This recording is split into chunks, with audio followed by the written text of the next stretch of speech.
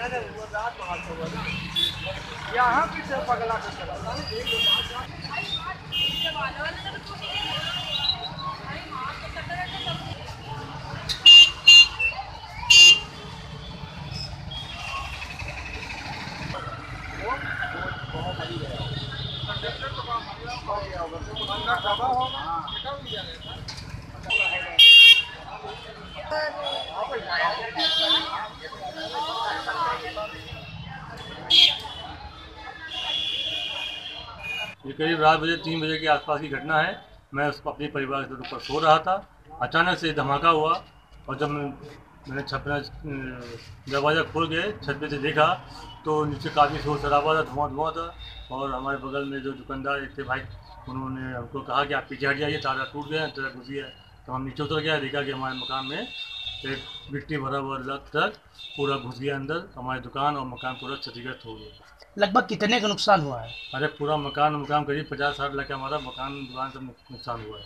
अच्छा क्या अभी तक पुलिसिया कार्रवाई के लिए कोई आपने तहरीर दी? है? जी अभी हमने तो तहरीर दी लेकिन हम उसकी कानूनी कार्रवाई करेंगे और जो है तो हम तहरीर देंगे। हम अगर- चाहते हैं कि पुलिस इसकी तफ्तीश करे और उसकी तहकीकात करे।